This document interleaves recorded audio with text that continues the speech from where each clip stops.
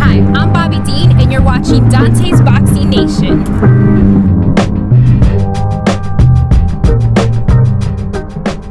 Hey, compare him to compare him to Klitschko and everybody else, the Vern that you fought. Um, well, as far as far as for, for him and Klitschko, man, um, he moves a lot better than Klitschko.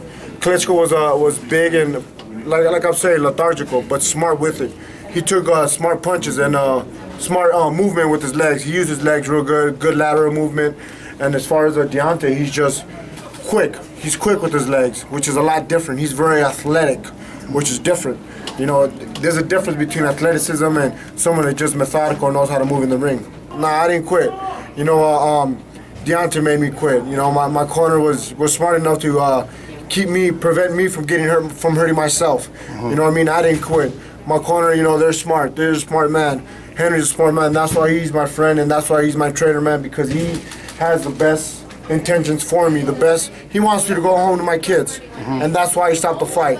And um, all credit goes to Wilder, man. He fought the perfect fight that he's supposed to fight, man.